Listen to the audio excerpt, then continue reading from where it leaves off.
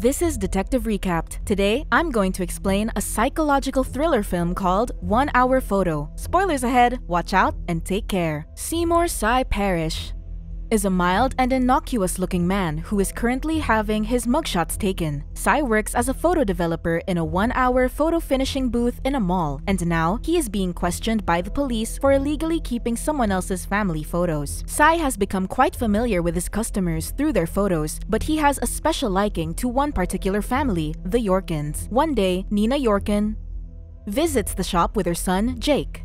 For the finishing of the boy's ninth birthday photos, he notices a book among Nina's things, so he strikes a conversation with her. But the more the two of them talk, the more apparent it is that Sy knows more about her family than he ought to. Seeing as Nina's camera has one more roll left, Sy insists on using it and takes a photo of himself. Naturally, this makes the woman just a little bit uncomfortable. While Nina goes grocery shopping, Sy begins to develop the photos. It's very clear that he loves his job. He thinks highly of it too, and for him, mastering the art of it requires more more than just a little training. After one hour, Nina and Jake return to claim the photos, and Sy continues to flirt with the boundaries of professionalism by being a lot friendlier to them than he needs to be. He even gives Jake a new camera as a birthday gift. That same night at the Yorkin residence, the whole family is happily checking the photos when Nina's husband, Will, notices Sy's photo, he tosses it to the table to be discarded since the man isn't part of their family. Meanwhile, Sy is having dinner in a restaurant and is looking at the Yorkin family's photos that he secretly copied for himself. Noticing the photos, the waitress asks if he's related to them and Sy lies, saying that Jake is his little nephew. He even starts fantasizing that he's the boy's favorite uncle. Back to the Yorkins, Nina is tucking Jake to bed when he suddenly expresses that he feels bad for Sy because he's lonely. Nina comforts him by saying saying that she thinks otherwise, but Nina couldn't be more wrong. Sy lives all alone in his house without any friend or family, and the only company he has is his pet hamster. His life is quite unlike the Yorkins, who he believes to be a perfect family. But like Nina, Sy isn't quite right either. Nina and Will spend the night arguing about their financial problems, while Jake could overhear their fight, saddening him. Though Sy lives an outwardly lonely life, there's still something for him to take solace in. Surprisingly, the man's walls are covered with collages of the Yorkins which are several photos taken over the course of many years. Needless to say, Sy is pretty damn obsessed with the family. The weekend has passed, and it's another Monday for Sy at work. Later on, he gets into a heated argument with the machine technician. Ever dedicated to his craft, Sy keeps pointing out an issue that the technician believes to be so trivial that no one else would even care about it. During break time, Sy is staring at the Yorkins' Christmas photo while fantasizing about celebrating with them. But suddenly, the store manager appears, ruining his daydream. To reprimand him, him for screaming at the technicians in front of the customers. Later on, Sy is about to return to the booth when he unexpectedly runs into Will. Sy is overjoyed to see the man in the flesh, but Will dislikes his over-friendliness. Nevertheless, Sy still assists him and compliments him for having a wonderful family and a beautiful house. Another guy shows up to assist Will, and while Sy is returning to his post, he accidentally bumps into Jake. To Sy's delight, the boy shows him the toy robot he wants to buy. Unlike his father, Jake adores Sy and treats him quite sweetly, but their little interaction gets interrupted when Will calls out to his son and reminds him not to get too close to strangers. When he isn't working, Sy spends time outside reading the book that Nina had an interest in. While looking around, he finds a store that sells old photographs and buys an old photo of a woman from it. Later that day, he begins to spy outside the Yorkin residence, but since the spying isn't enough to sate him, Sy proceeds to break into the house. While traversing the home, he discovers his photo pinned to the refrigerator door, along with the other family photos, and this brings a smile to his face. Oddly enough, Sy seems completely familiar with the house as he tours himself around, checking Jake's room and using their toilet. He even notices Will's clothes inside the couple's bedroom. He wears them. Even the family dog seems to know Sy because it doesn't bark at him. While watching TV, Sy doesn't notice that the front door is being unlocked until he hears the Yorkins entering the house. He panics, trying to figure out where he should hide, but it's too late for him to escape as the family's already seen him. But to his surprise, they act as though he's living with them all this time. This wistful little encounter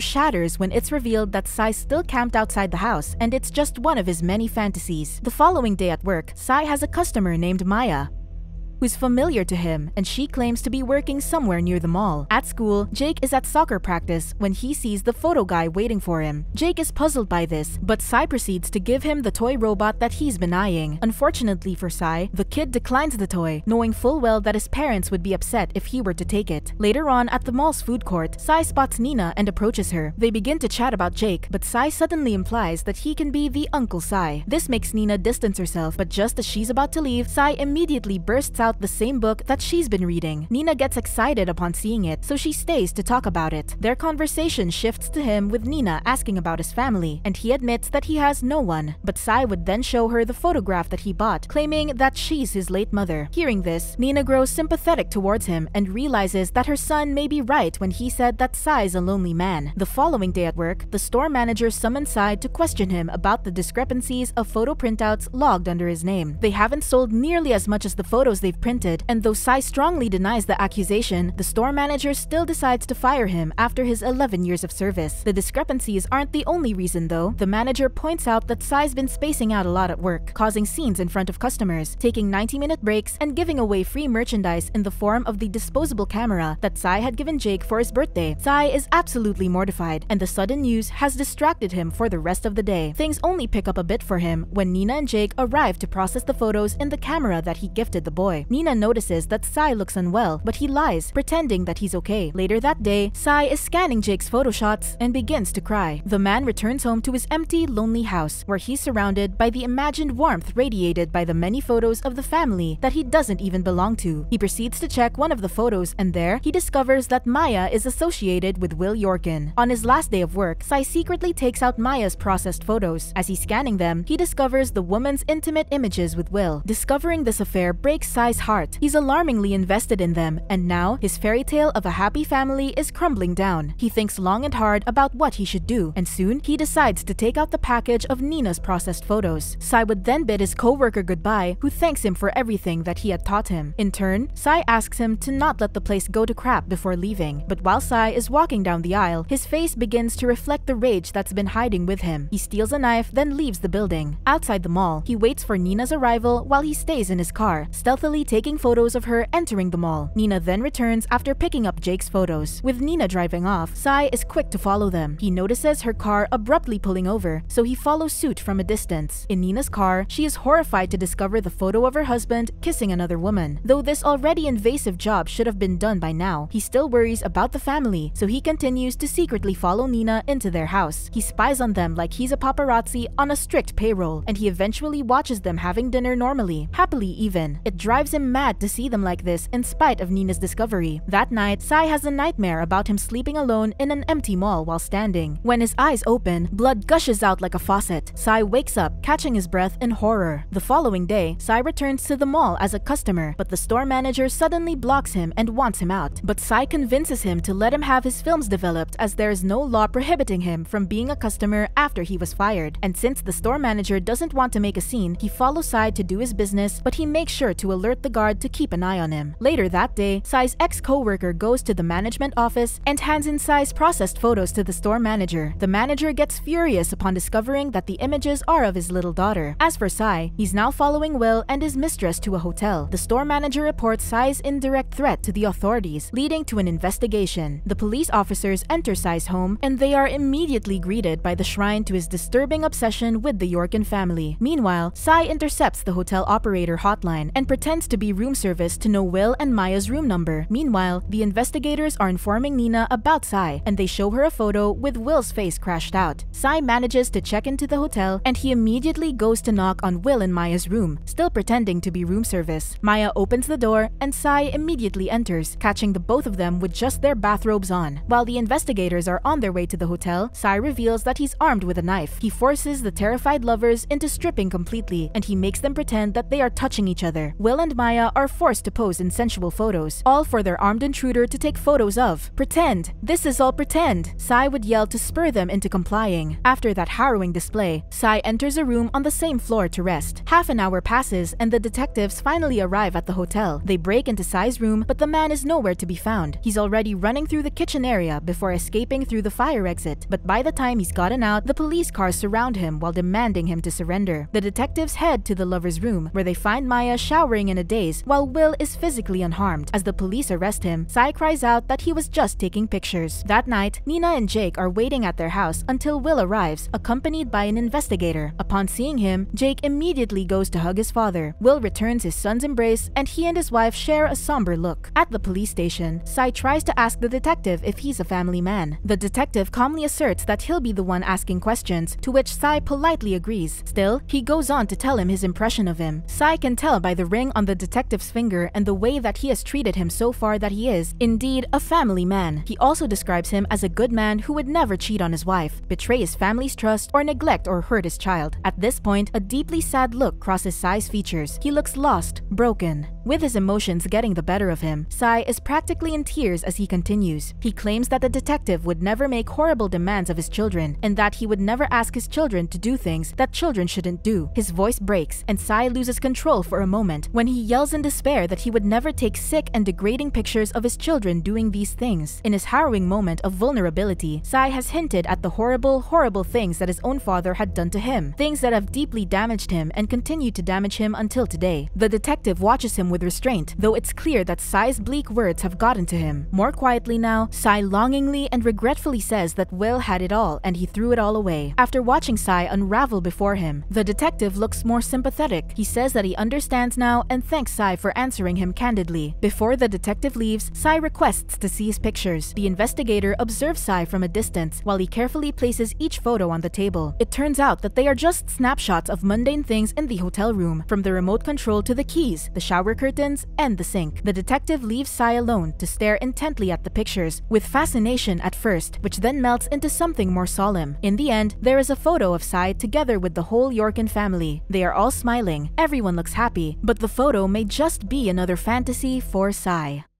Subscribe to watch more videos like this. Turn on notifications.